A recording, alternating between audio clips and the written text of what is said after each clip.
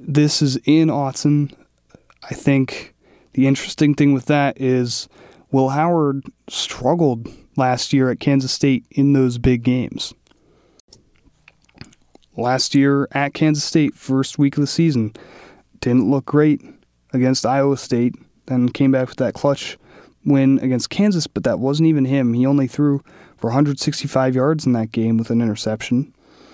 Um, of course, he looked okay in that Texas game, but he ended up choking at the end in overtime, slipping and falling on that last play or whatever.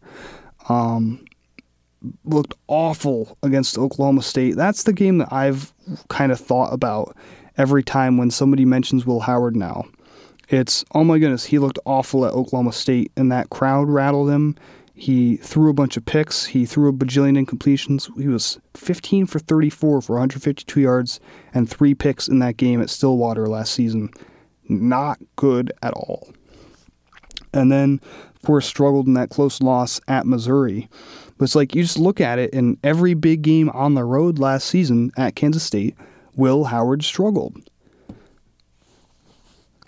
So I, I just look at that. I'm like, so why is it going to be that much different at Ohio State? And I, I know Chip Kelly. I know he has so many more weapons than he did at KSU. Uh, but he's also playing an Oregon team that's probably better than every team he played last year.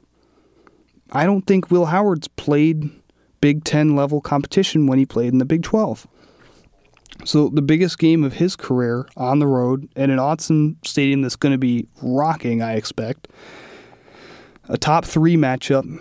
I just don't know if he personally is ready for this, and so much of this falls on his shoulders. We saw what Kyle McCord, you know, did last year, and the Ohio State quarterback gets so much more pressure than almost any other player in the entirety of college football. If Ohio State loses this game, it's very likely because Howard wasn't able to do his job. And if they win this game, it's very likely because he is. And I'm just not sure if he can. And my other thing is Ohio State's best receiver so far, Jeremiah Smith, he's a true freshman. And of course, no matter how good he is, just not sure if a true freshman's ready for that kind of environment, ready for that kind of defense. So that's just going to be a really, really fun one. These are like I could not pick a team that's going to win right now because, like I said, I know Ohio State is probably the more talented team, but I just gave you a whole bunch of reasons for why I think Oregon could win.